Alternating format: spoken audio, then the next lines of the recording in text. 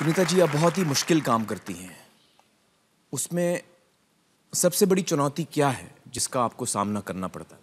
आमिर, हम लोगों की सबसे बड़ी संघर्ष है और चैलेंज है समाज। समाज का सोच, समाज का नज़रिया, समाज का रवैया। इन बच्चों के बारे में, इन लड़कियों के बारे में या इन औरतों के बारे में आप कहानियाँ लिख सकते हैं, उपन्यास लिख सकते हैं, पिक्चरें भी बना सकते हैं। लेकिन इन बच्चों को इन लड़कियों को अपनाने के लिए कोई नहीं है। ये आपकी बहन नहीं बन सकती, आपकी बहू नहीं बन सकती, आपकी बीवी नहीं बन सकती। यहाँ तक कि आप अपने ऑफ़िस में इसको काम तक नहीं दे सकते।